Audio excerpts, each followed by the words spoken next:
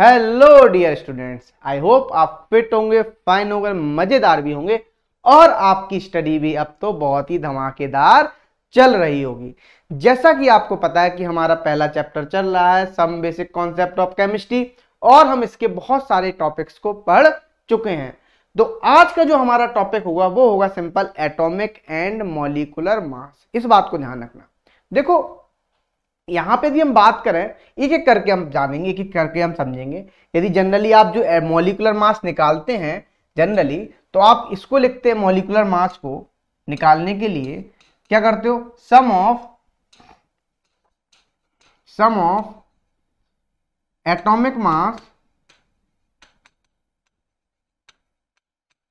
of each element ठीक है ना? ईच एलिमेंट का क्या कर देते हो आप? सम कर देते हो एटॉमिक मास का तो क्या आ जाता है हमारा? मॉलिकुलर मास निकल के आ जाता है। मतलब मॉलिक्यूल का मास की बात करना है और एटॉमिक में एटॉमिक मास में सिंपल एटम के मास की बात हम कर रहे हैं। इस बात को ध्यान रखना।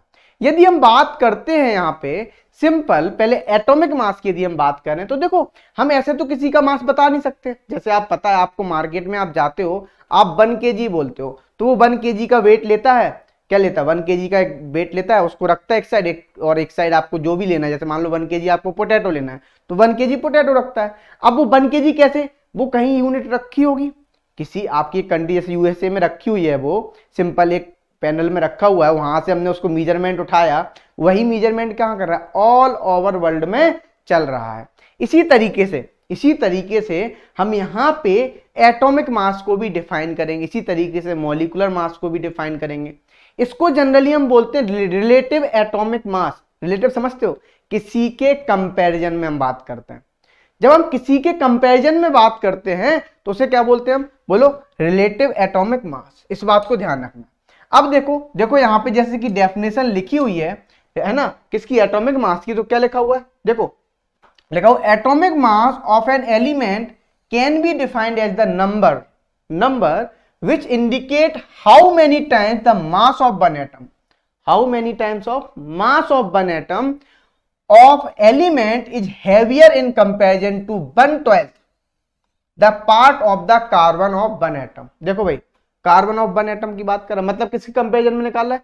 सी ट्वेल्व के कंपेरिजन में निकाल रहा है। देखो, ऐसा नहीं कि आपको प्यार कार्बन से ही है। है ना, आप डिफरेंट डिफरेंट यदि बुक्स पढ़ते हैं तो वहाँ पे कहीं ना कम, कहीं कंपेरिजन हाइड्रोजन से भी लिखा होता है है ना? कहीं कार्बन से लिखा होता है।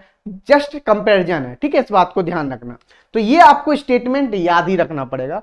यदि मैं इसकी बात करता हूँ सिंपल तो ये आपका क्या है? इसी को हम बोलते हैं रिलेटिव एटॉमिक मास क्या बोलते हैं? रिलेटिव रिलेटिव एटॉमिक मास इस बात को ध्यान रखना। ठीक है? अब देखो जैसे मान लो, ठीक है? अब हम यहाँ पे, जैसे मान लो A equal to atomic mass of element निकला, ठीक है? और एलिमेंट निकाला हमने तो हम इसको कैसे निकालते हैं? इसको हम निकालते हैं simple mass of one atom of the element divide by 1 twelfth part of the mass of one atom of carbon 12 simple समझो। कार्बन 12 इस तरीके से। वैसे आप देखो वन ट्वेल्थ और ट्वेल्व ठीक है? वैसे भी कैंसिल आउट हो जाएगा। आप इस तरीके से भी समझ सकते हैं। अब देखो, इसी को हम क्या बोल रहे हैं? एटॉमिक मास बोल रहे हैं। एक बात ध्यान रखना, इससे जो एटॉमिक मास आएगा, वो एक एटॉम का मास आएगा। और उसको जब आप लिखोगे तो आप वो किसमें लिखोगे आप? एएमयू में लिखोगे। एएमयू समझते हो? इसको हम बोलते हैं एटॉमिक मास यूनिट इस बात को ध्यान रखना। एटॉमिक मास यूनिट बोलते हैं। ठीक है? या हम यू यू से भी लिखते हैं, इसको हम यूनिफाइड यूनिफाइड मास भी बोलते हैं। इस तरीके से याद रखना। जैसे मान लो, आपने हीलियम का आपको एटॉमिक मास लिखना है तो आप क्या लिखोगे? फोर ए ठीक है? इस बात को ध्यान रखना। आपको मान लो, आपको लिखना है, नाइट्रोजन का एटॉमिक मास लिखना है तो आप क्या लिखोगे? आप लोग seven A M U sorry atomic mass लिखना है तो एटॉमिक मास आपका होता है फोर्टीन ठीक है? Fourteen A M U oxygen लिखना है तो देखो क्या लिखोगे आप? सिक्सटीन ए एम यू मतलब आप एक एटम का मास की बात कर रहे हैं।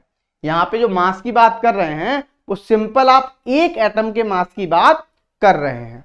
ठीक है? और यदि आपको मान लो, इसको ग्राम में बताना है किसमें बताना है? ग्राम में। तो हम यदि ग्राम की बात करते हैं तो आपको मैं सिंपल बता one A M U equal to कितना होता है? One A M U equal to होता है one point six six into ten to the power minus twenty four gram. इस बात को ध्यान रखना। ठीक है? अब देखो, अब आप जैसे मान लो हीलियम है, हीलियम लिखा इसको आपको ग्राम में कन्वर्ट करना है। तो कैसे करोगे बोलो? आप सिंपल आपको फोर ए एम होता है तो four into one point six six into ten to the power minus twenty four gram. ठीक है ना, इस तरीके से आप कर लेंगे। अब देखो फोर्टीन एम लिखा हुआ है तो आप इसको क्या लिखेंगे ग्राम में? Fourteen into one point six six into ten to the power minus twenty four gram क्योंकि एक नाइट्रोजन एटम का इतना मास होता है। अब देखो ऑक्सीजन का लिखना है? तो क्या लिखोगे? Sixteen into one point six six into ten to the power minus twenty four gram तो आई होप आपको ये बात क्लियर हो रही होगी बहुत ही अच्छे से। अब देखो, अब मैं एक दूसरी बात बता रहा हूँ यहाँ पे। अभी हमने एटॉमिक मास की बात की है। अब हम एक बात करेंगे नए टर्म ग्राम एटॉमिक मास समझना? ग्राम एटॉमिक मास हम किसे बोलते हैं? यदि हम ग्राम एटॉमिक मास की बात करें तो जो नाम में ही छिपा हुआ है डेफिनेशन एटॉमिक मास या एटॉमिक वेट इन ग्राम बोलो, किसमें ले लें हम? Atomic mass in gram simple ऐसे लिख लें। तो लिखा हुआ है ग्राम एटॉमिक मास और gram atom of every element consist of same number of atom the number is called Avogadro number अभी हम बताते हैं। The value of Avogadro number is six point zero two two into ten to the power twenty three समझना ध्यान से। लो यहाँ पे क्या बोल रहा है? Atomic mass in gram that is gram atomic mass इसी को क्या बोल रहे हैं हम? ग्राम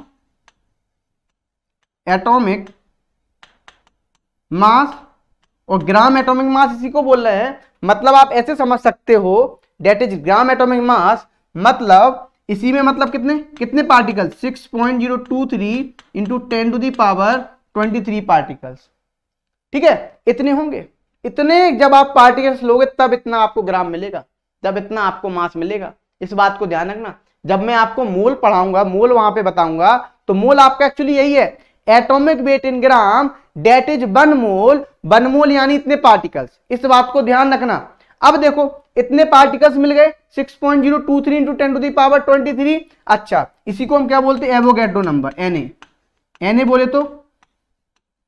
एवो गेट रोज नंबर ठीक है? ये बात क्लियर आप लोगों को? तो देखो, यहाँ पे यही बात लिखी हुई थी। यही लिखी atomic mass in gram that is gram atomic mass मतलब इतने पार्टिकल्स यानी एन एटॉम मतलब एन मतलब बोले तो एवोगेड्रो नंबर ऐसे समझो, जैसे मान लो, हमने मान लो फोर है हीलियम लिया। हीलियम का फोर होता था, एक एटम का। मास क्या होता था? फोर ए और यदि हम इसको क्या ले लें? फोर ग्राम फोर ग्राम लेने पे आपको कितने पार्टिकल्स मिलेंगे?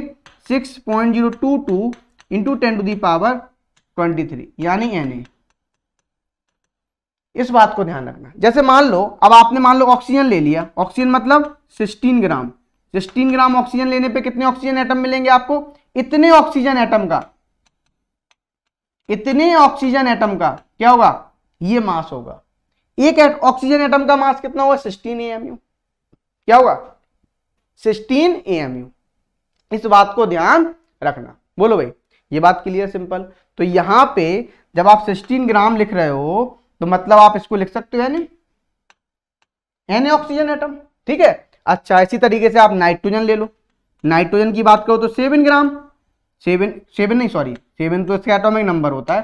फोर्टीन ग्राम फोर्टीन ग्राम बोले तो six point zero two two into ten to the power twenty three nitrogen atom या N A nitrogen atom simple N A मतलब यहाँ पे एवोगेड्रो नंबर से है। किससे नंबर है? एवोगेड्रो नंबर बोलो भाई क्लियर तो ये बात आपको समझ में आ रही होगी। एक्चुअल में यही बनमूल है। आपको मैं डिटेल में पढ़ाऊँगा अभी आगे। जब आपको मोल पढ़ाऊँगा तो वहाँ पे मैं बताऊँगा, यही एक्चुअल में बनमूल है। एक मोल मतलब इतने पार्टिकल्स ये बात आप जानते हैं। ठीक है? अच्छा अब देखो। तो लिखा हुआ अभी है यहाँ पे सिंपल क्या लिखो? Gram atomic mass can be defined as the absolute mass in gram six point zero two two ten to the power twenty three atoms of any element. जब आप इतने एटम्स लोगे, है ना, किसी भी एटम, किसी भी आप एलिमेंट के इतने एटम्स लोगे, या आप ऐसे मान लो इतने एटम्स लोगे जब आपको सिंपल उतने ही क्या मिलेंगे?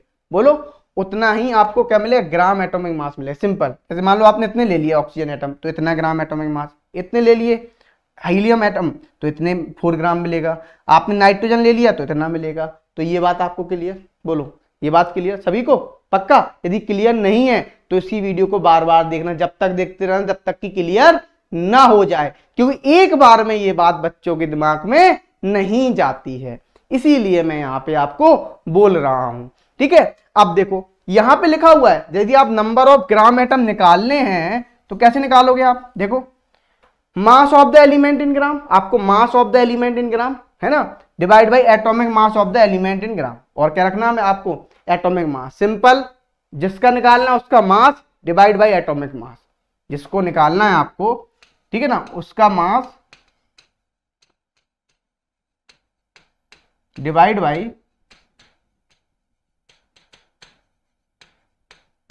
atomic mass ठीक है? ये बात ध्यान रख लेंगे सिंपल तरीके से। बोलिए। ये बात ध्यान रख लेंगे? पक्का? चलो फिर आगे बढ़ते हैं। अब देखो, अब हम बात कर लेते हैं इसके बाद मोलिकुलर मास की, ठीक है?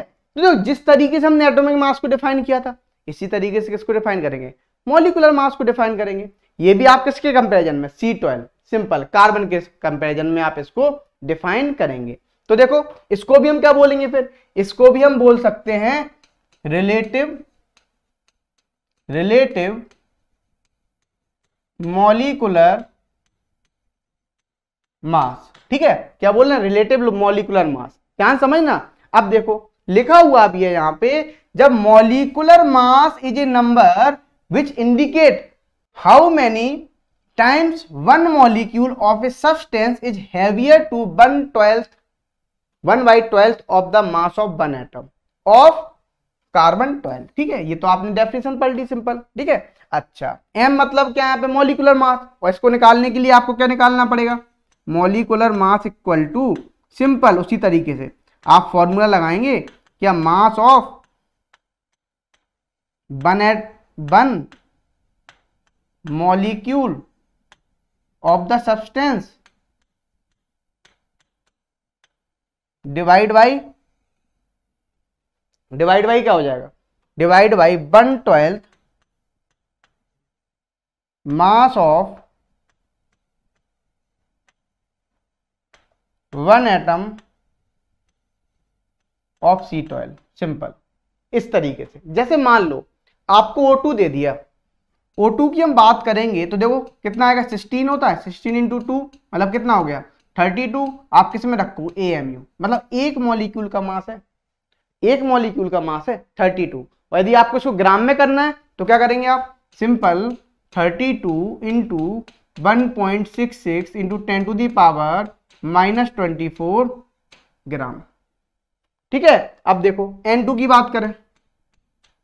N2 बोले तो सिक्सटीन कितना हो जाएगा? फोर्टीन इंटू टू मतलब ट्वेंटी एट एम यू मतलब क्या हो जाएगा? Twenty eight into one point six six into ten to the power minus twenty four gram. इस बात को आप ध्यान रखना। बोलो भाई, ये बात ध्यान रख लोगे इतना? पक्का? जैसे मान लो, आप एस टू एस फोर ले लो। सिंपल, आप एटॉमिक मास यूनिट में देंगे। अब देखो तो एस टू एस फोर कितना आएगा? आप जब कैलकुलेट करेंगे 98 आएगा। 98 एट एएमयू सिंपल क्या होगा? 98 एट ए एएमयू बोले तो सिंपल, आप इसको लिख सकते हैं। यदि लिखेंगे तो 98 eight into one point six six into ten to the power minus twenty four gram इस बात को ध्यान रख लेंगे। तो आई होप आपको ये बात भी क्लियर हो रही होगी। देखो, जिस तरीके से आपने ग्राम एटॉमिक मास निकाला था, इसी तरीके से ग्राम मॉलिकुलर मास निकालेंगे। अभी हम बात करेंगे। यहाँ तक पहले बता दो, लेकिन क्लियर तो आप यहाँ पे जो भी atomic mass sorry molecular mass निकाल रहे हो, वो सारा का सारा आप एक मॉलिक्यूल के लिए निकाल लो। एक मॉलिक्यूल का जो एटॉमिक मॉलिकुलर मास होगा, वो ये होगा। ठीक है? अब चलो, आगे बढ़ते हैं। अब हम बात कर लेते ग्राम मॉलिकुलर मास की।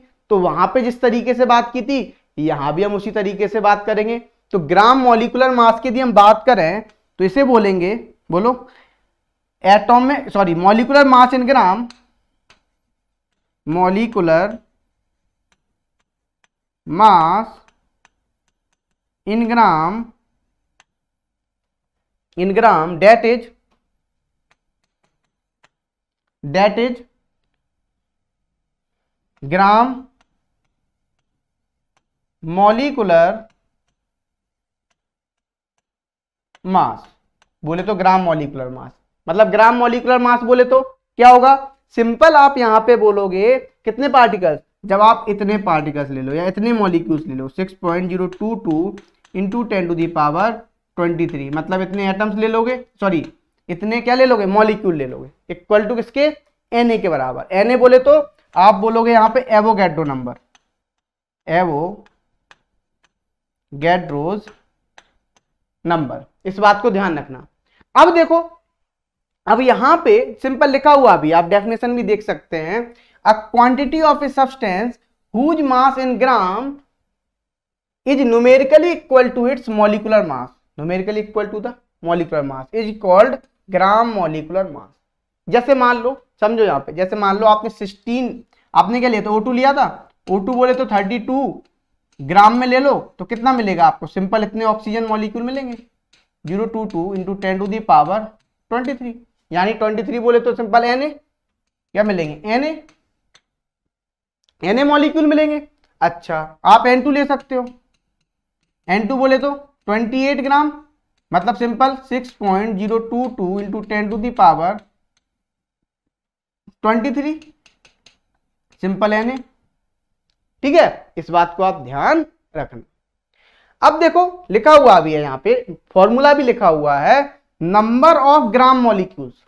तो नंबर ऑफ़ ग्राम मॉलिक्यूल्स कैसे निकालोगे? जैसे आपने नंबर ऑफ़ ग्राम एटम निकाले थे।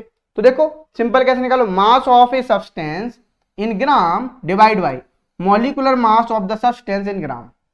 Simple मतलब जिसका निकालना उसका mass, divide by molecular mass. क्या करोगे? बोलो, जिसका निकालना उसका mass divide by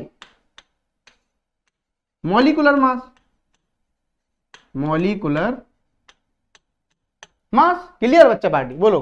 क्लियर इतना? तो आई होप आप ये बात भी समझ पा रहे होंगे। तो देखो, इसको सॉल्व करने के लिए मैं एक छोटा सा आपको एक ट्रिक बताता हूँ। अभी अपन क्वेश्चंस को करेंगे, है ना? पहले अपन मॉलिकुलर मास निकालना ही सीखेंगे एएमयू में निकालेंगे। बस एक बात ध्यान रखना यहाँ पे इंपॉर्टेंट यदि मैं एएमयू यूनिट लगा रहा हूँ मतलब आप एक मॉलिक्यूल के मास की बात कर रहे हैं। ठीक है? यदि मैं ग्राम लगा रहा हूँ, तब आप इतने मॉलिक्यूल्स की बात कर रहे हैं। एन मॉलिक्यूल्स कितने? एन मॉलिक्यूल्स इस बात को आप ध्यान रखना सिंपल तरीके से, मैं बता रहा हूँ। अब देखो, यदि हम बात करें, यहाँ पे हम निकालते हैं, सारे क्वेश्चंस को करते हैं, बहुत सारे तो हम सिंपल आपको स्टार्टिंग में अभी वो डेफिनेशन बताए थे। फिर से मैं बताता हूँ आपको मॉलिकुलर मास निकालना कैसे है। मॉलिकुलर मास कैसे निकालना आपको? सिंपल समझना। सम ऑफ़ ईच या सम ऑफ़ एटॉमिक मास ऐसे लिखो। Sum of atomic mass of each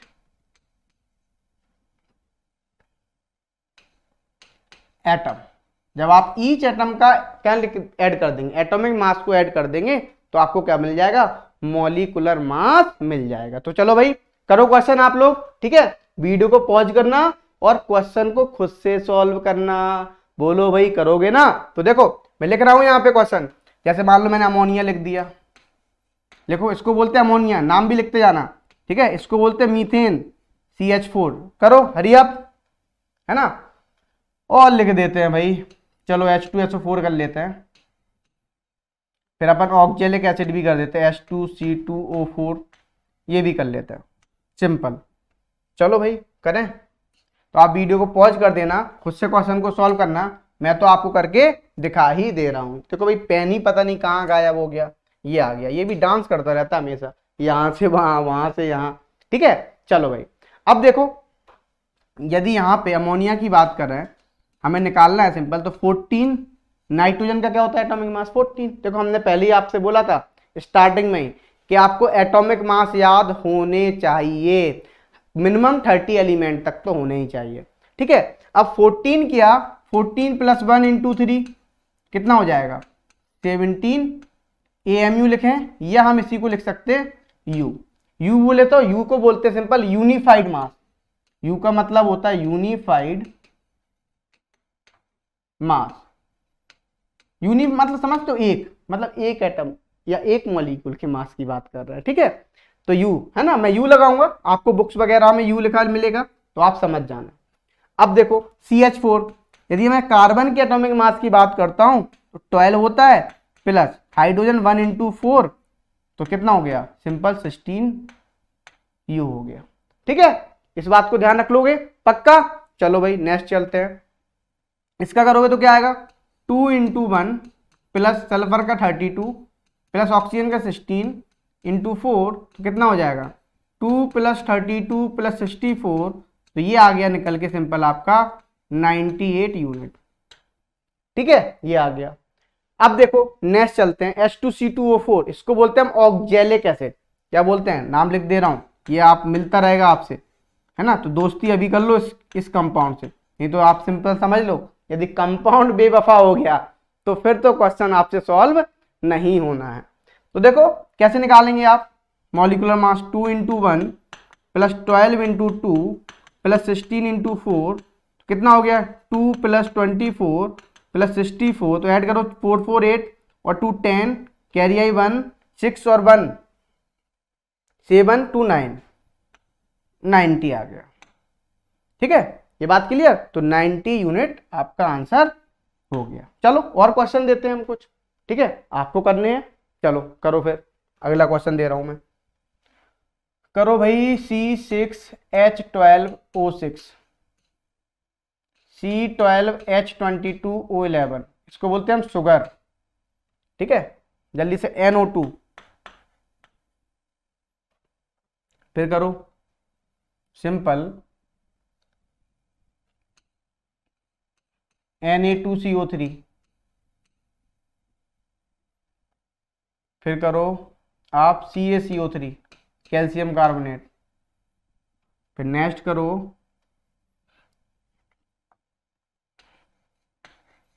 S C L O four चलो भाई, करो जल्दी से। हम्म? यदि आप सिंपल इसको करोगे तो देखो कैसे करोगे। सी सिक्स एच ट्वेल्व वो सिक्स है तो क्या होगा? Six into twelve plus one into twelve plus sixteen into six ठीक है? तो कितना हो गया? ट्वेल्व सिक्स जा सेवेंटी टू प्लस यहाँ पे ट्वेल्व प्लस सिक्सटीन सिक्स जा नाइन्टी सिक्स जब आप इसको ऐड करेंगे तो जो आंसर आएगा, वो आएगा वन एट्टी यूनिट क्या आएगा? वन एट्टी यूनिट इस बात को ध्यान रखना।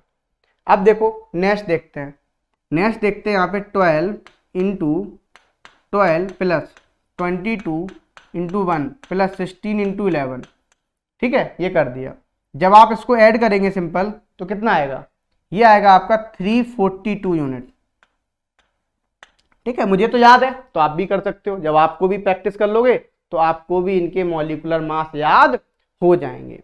ठीक है? अब देखो नेक्स्ट चलते हैं। नेक्स्ट क्या बोला? एनओ टू एनओ टू बोले तो 14 प्लस सिक्सटीन इंटू टू कितना हो गया? 14 प्लस 32 मतलब कितना हो गया? Four two six, forty six unit. Simple कितना आ गया? फोर्टी सिक्स यूनिट आ गया। अब देखो N A two C O three तो twenty three into two plus twelve plus sixteen into three तो कितना हो गया यहाँ पे? यहाँ पे हो गया forty six plus twelve plus forty eight. तो आप जब इसको ऐड करोगे तो ये आएगा आपका वन हंड्रेड सिक्स यूनिट। कितना आएगा? वन हंड्रेड सिक्स यूनिट इस बात को ध्यान रखना। ठीक है? अब देखो नेक्स्ट सी ए थ्री करना है तो कैल्शियम का एटॉमिक मास कितना होता है? Forty forty plus twelve plus sixteen into three तो जब आप इसको करोगे तो कितना आएगा? फोर्टी प्लस कितना हो गया? ये हो गया सिक्सटी सिक्सटीन थ्री या फोर्टी एट और ट्वेल्व सिक्सटी तो कितना हो गया? ये सिंपल हो गया हंड्रेड हंड्रेड यूनिट हो गया। ठीक है? अब देखो S C L O four तो क्या करोगे? ऐड करो। One plus thirty five point five plus sixteen into four. तो कितना हो गया? ये हो गया thirty six point four plus sixteen into four, sixty four. इसको ऐड करो। कितना आ रहा है? हंड्रेड पॉइंट फोर यूनिट आ गया। इस तरीके से आप क्वेश्चंस को कर लेंगे। बोलो भाई, और क्वेश्चंस करा दें कुछ? चलो भाई, कुछ और क्वेश्चंस करा देते हैं। है ना? कुछ और क्वेश्चन अपन कर लेते हैं। तो देखिए आप simple C three O two निकालो। फिर आप करो सी सिक्स एस सिक्स करो। हम्म। जल्दी से। फिर करो आप नेक्स्ट क्वेश्चन करो यो।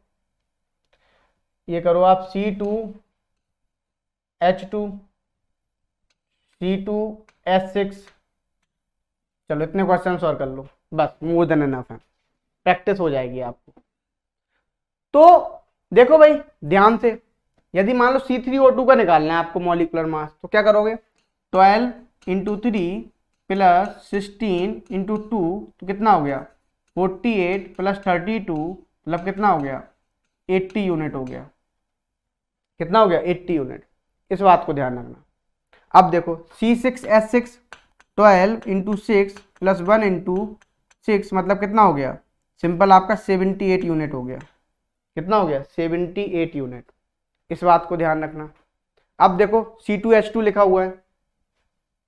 Twelve into two plus one into two simple twenty four plus two मतलब ट्वेंटी सिक्स यूनिट कितना हो गया? ट्वेंटी सिक्स यूनिट इस बात को ध्यान रखना। अब देखो सी टू एच सिक्स तो क्या हो जाएगा? Twelve into two plus one into six कितना हो गया? Twenty four plus six simple thirty हो गया। ठीक है? ये बात क्लियर तो आई होप आपको ये बात क्लियर हो गई होगी। मैं यहाँ पे यूनिट लगा देता हूँ। कि तुम कहो, सर, ने तो यूनिट लगाई ही नहीं। है ना? तो ऐसी गलती नहीं करनी है। तो आई होप आपको ये बात अच्छे से क्लियर हो गया होगा। अब देखो क्वेश्चंस आपको तभी बनेंगे इस टाइप के क्वेश्चंस क्योंकि यहाँ पे आपको मॉलिकुलर मास पता होना चाहिए। मॉलिकुलर मास कैसे? देखो, ये सिंपल इस तरीके से निकालोगे, तभी, क्योंकि अब आपको बार बार कोई टीचर नहीं निकलवाएगा। अब आपको यही बार बार प्रैक्टिस करनी है। आपको मॉलिकुलर मास और आप तभी निकाल पाओगे जब आप एटॉमिक मास को याद कर लोगे। किसको याद कर लोगे? एटॉमिक मास तो जितना ज़्यादा आप याद कर सकते हो मिनिमम थर्टी एलिमेंट तक, मैं फिर से बोल रहा हूँ वही बात थर्टी एलिमेंट तक आप एटॉमिक मास को याद कर लो। तो चलो फिर, अब हम चलते हैं नेक्स्ट क्वेश्चन पे। बढ़िया सा क्वेश्चन है। लिखा हुआ है यहाँ पे calculate the mass of 2.5 gram atom of oxygen तो देखो ग्राम एटम ऑफ़ ऑक्सीजन दिया हुआ है। ध्यान समझना? मतलब देखो, आपको नंबर ऑफ़ ग्राम एटम दिए हुए हैं। और आपको पता हो फॉर्मूला दिया आपने देखा था नंबर ऑफ़ ग्राम एटम का देखो क्या है? Simple mass of the element in gram हमने बोला था उसका mass divide by atomic mass of the element in gram simple आपको इसी तरीके से करना है तो आपको ग्राम एटम दिए गए हैं। ठीक है? तो देखो नंबर ऑफ़ ग्राम एटम कैसे निकालोगे? Sorry number of gram atom तो दिए गए हैं। Number of gram atom equal to mass of oxygen atom divide by atomic mass of oxygen atom ठीक है? अब देखो ये दे दिया आपको। अब सिंपल, यदि आपको मास ऑफ़ ऑक्सीजन एटम दे रहा है तो मास ऑफ़ ऑक्सीजन एटम बोले तो कितना दिया हुआ है? बोलो। ये तो निकालना ही है आपको। मास ऑफ़ ऑक्सीजन एटम तो निकाल नहीं है। तो सिंपल ये क्या हो जाएगा? यदि आप देखोगे तो ये मल्टीप्लाई हो जाए क्रॉस मल्टीप्लाई कर दो। नंबर ऑफ़ ग्राम एटम कितना है? 2.5 अच्छा और नंबर अब यहाँ पे atomic mass of oxygen atom है ना तो एटॉमिक मास ऑफ़ ऑक्सीजन कितना होता है? सिक्सटीन तो कितना हो जाएगा? इंटू सिक्सटीन तो सिंपल आप यदि इसको मल्टीप्लाई करेंगे, मैं इसको इस तरीके से लिख देता हूँ। Mass of simple cross multiply किया हमने। मास ऑफ़ ऑक्सीजन एटम वो हो गया सिंपल आपका। 2.5 पॉइंट फाइव इंटू सिक्सटीन मतलब ये हो गया सिंपल 16 मतलब इसको हम यदि इस तरीके से लिख दें फाइव बाई टू देखो 2.5 को इंटू सिक्सटीन टू एट जा सिक्सटीन मतलब कितना हो गया? एट फाइव जा फोर्टी। तो क्या हो गया? फोर्टी ग्राम आ गया। सिंपल आंसर क्या आ गया? Forty gram. तो देखो, सिंपल आपको एटॉमिक मास का खेल है। यदि आपको एटॉमिक मास याद है तो आप सॉल्व कर लेंगे। तो आप देख सकते हैं यहाँ पे क्या आंसर दिया हुआ फोर्टी ग्राम दिया हुआ है। अब हम चलते हैं नेक्स्ट क्वेश्चन पे। अगला क्वेश्चन क्या बोल रहा है? इसको ध्यान से समझना। लिखा हुआ है calculate the gram atoms in 2.3 gram of sodium देखो भाई ग्राम एटम पूछ रहा है। ध्यान समझना। ग्राम एटम तो आपको पता है, अभी हाल नंबर ऑफ़ ग्राम एटम का फॉर्मूला लिखा था हमने. Number of gram atom equal to क्या था? सिंपल मास ऑफ़ या सोडियम का निकालना है mass of sodium atom divide by कितना हो जाएगा? बोलो. Mass of sodium atom divide by atomic mass of sodium atom तो मास ऑफ़ सोडियम एटम कितना है? यदि मास ऑफ़ सोडियम एटम बोला जाए सिंपल 2.3 है डिवाइड बाई 23 तो कितना आ गया? वन बाई टेन मतलब सिंपल कितने आ गए? 0.1 तो आप लिख सकते हो यहाँ पे जो simple number of gram atom आ रहे हैं नंबर ऑफ़ ग्राम एटम वो आ रहे हैं 0.1 बोलिए भाई। ये बात क्लियर तो देखो आंसर भी दिया हुआ है। सिंपल 0.1 इस तरीके से हमारा आंसर आ गया है। अब हम चलते हैं नेक्स्ट क्वेश्चन पे। हमारा अगला क्वेश्चन क्या बोल रहा है? ध्यान समझना। देखो, क्या लिखा हुआ है? लिखा हुआ है calculate the mass of 1.5 gram molecule of sulphuric acid देखो, अब उसने मॉलिकुलर मतलब किसी बात का ग्राम मॉलिकुलर की बात कर रहा है। है ना? और हमें पता है ग्राम मॉलिकुलर मास की बात पता है। सिंपल सा। तो सबसे पहले तो हम इसका मॉलिकुलर मास निकाल लेते हैं सल्फ्यूरिक एसिड का। यदि हम मॉलिकुलर मास निकालेंगे तो क्या आएगा देखो? मॉलिकुलर मास वो कितना आएगा? पहले सल्फ्यूरिक एसिड का फॉर्मूला क्या होता है? H two SO four molecular mass of H two SO four इसी को सल्फ्यूरिक एसिड बोलते हैं। मतलब सिंपल कितना हुआ? Two into one plus thirty two plus sixteen into four मतलब कितना हो गया? नाइनटी एट ग्राम हो गया। कितना हो गया भाई? नाइनटी एट ग्राम हो गया। अब एक बात बताना आप मुझे, यहाँ पे नाइनटी एट ग्राम है। अब हमें क्या निकालना है? देखो, सिंपल है, मास बताना है। है ना? 1.5 ग्राम मॉलिक्यूल लेने पे सल्फ्यूरिक एसिड का क्या मास होगा? तो देखो, हमें क्या निकालना है? Number of gram atom equal to क्या होता है? सॉरी, ग्राम मॉलिक्यूल की बात करेंगे यहाँ पे। ग्राम मॉलिक्यूल तो कैसे निकालोगे आप? बोलो। आप निकालोगे यहाँ पे equal to mass of mass of sulphuric acid निकालना है हमें। Divide by molecular mass of sulphuric acid in gram ठीक है? यही है? तो देखो मॉलिकुलर मास की यदि हम बात कर रहे हैं यहाँ पे। मॉलिकुलर मास की यदि हम बात कर रहे हैं। तो देखो, कैसे आएगा? नंबर ऑफ़ ग्राम मॉलिक्यूल दिए हुए नंबर ऑफ़ ग्राम मॉलिक्यूल बोले तो कितने दिए हुए 1.5 equal to mass of sulphuric acid divide by molecular mass of sulphuric acid तो डिवाइड बाई कितने से कर दोगे? डिवाइड बाई 98 कर दोगे। तो सिंपल आपका mass of sulphuric acid equal to कितना हो जाएगा? 1.5 पॉइंट फाइव इंटू देखो भाई, ये आ गया। आप इसको इस तरीके से भी सॉल्व कर सकते हो। इसको मैं थ्री बाई टू लिख देता हूँ। इंटू नाइनटी तो कितना बचा? 49 मतलब कितना आ गया? थ्री नाइन जा, ट्वेंटी सेवन। कितना आ गया? थ्री नाइन जा, ट्वेंटी सेवन कैरी आई टू थ्री फोर जा, थ्री फोर जा, ट्वेल्व और टू। कितना हो गया? ट्वेल्व और टू होता है फोर्टीन तो वन फोर्टी सेवन ग्राम हो गया। तो आई होप आपको ये बात क्लियर हो गई होगी। तो यहाँ पे आंसर भी क्या दिया हुआ है? वन फोर्टी सेवन ग्राम ही दिया हुआ है। बोलो भाई क्लियर देखो, मैंने भी सॉल्व कर दिया, आपको सॉल्यूशन भी दे दिया गया सो डोंट वरी आपको कहीं भी प्रॉब्लम आती है, आप बार बार क्वेश्चंस को देखिए। देखो, यहाँ पे ना टीचर गुस्सा होगा, ना कुछ होगा। मोबाइल आपका, मैंने जैसे स्टार्टिंग में बोला था मोबाइल आपका उसको आप कितनी भी बार रिकॉर्डेड देखो देखो। इससे बेनिफिट आपका ही है। ठीक है? अब हम चलते हैं, आगे बढ़ते हैं। नेक्स्ट क्वेश्चन पे चलते हैं। क्या लिखा हुआ है? Calculate the molecular mass of glucose C six H twelve O six molecule अब देखो, यदि हम बात करें ग्लूकोज के मोलिकुलर मास की देखो मॉलिकुलर मास अभी हमने जस्ट कैलकुलेट किया था। मॉलिकुलर मास इक्वल टू क्या आएगा? C six H twelve O six है। तो क्या दिया हुआ है यहाँ पे? Twelve into six plus one into twelve plus sixteen into six कितना हो गया? ट्वेल्व सिक्स जा seventy two plus twelve plus sixteen six जा नाइन्टी सिक्स जब आप इसको कैलकुलेट करोगे तो वन एट्टी आएगा। क्या आएगा? वन एट्टी तो आप देख सकते हैं सिंपल ठीक है? एक एक का बताना है तो आप यहाँ पे यूनिट लगाएँगे। क्या? यू यूनिफाइड मास ठीक है? क्लियर? तो आई होप आपको ये बात भी क्लियर हो गई होगी। तो इसी के साथ ये टॉपिक होता है यहीं पे समाप्त। और आई होप आपको बहुत मज़ेदार तरीके से इसको समझ में आ गया होगा। इसी के साथ मिलते हैं अपन नेक्स्ट टॉपिक में इसी प्रकार के।